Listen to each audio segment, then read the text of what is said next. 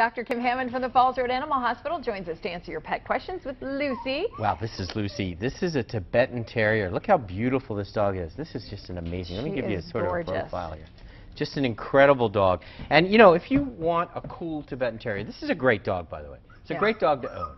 Um, I, yeah, I know, I know, pal. She wants And- to be heard. Yeah, and the thing is, you know, obviously you can see there's a little bit of work here because look at this long hair. It takes a little bit of work. So when you buy a Tibetan Terrier, you buy into a grooming You do. policy. Right, You exactly. know, That's all part one- of the You got to do a lot of grooming, but out, an outstanding dog, and we can get them locally. And if anybody wants to buy one, you can call me at the animal hospital.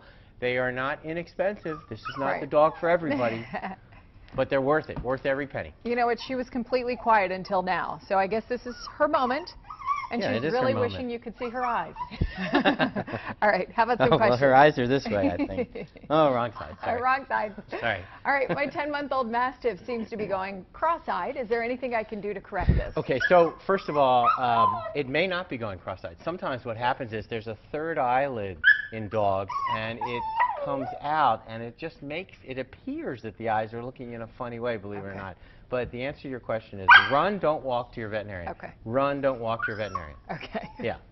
I'm sorry, I'm laughing at Lucy because she's getting so mad. She sees her parents over She there. speaks my language. Yeah, she's like, all right, I'm done with this. Yeah. Okay, so my dog ate a pork bone and now doesn't want to eat anything. He doesn't seem to be in pain, but should I be concerned? Well, the answer is did the pork, pork bone come out the other end?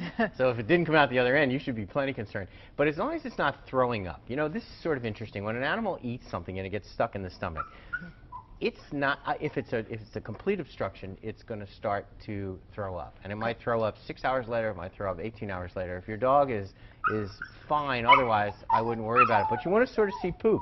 If you don't see poop, you might have a problem. All right. Yeah. And this one about a border collie. My border collie is epileptic and usually has a seizure about every six weeks. It's been happening a lot more frequently as of late. Any advice? Yeah, the advice is this. In, in, you know, epilepsy has a lot of causes. Some are serious, some are not. And we sort of live with epilepsy in dogs if it's not happening more frequently than once a month. So you're right on the cusp here, every six weeks starting to increase the frequency.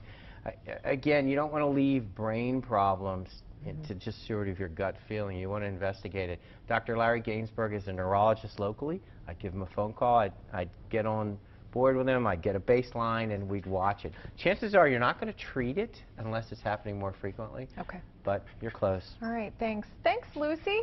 You've been a real trooper. You ready to go home?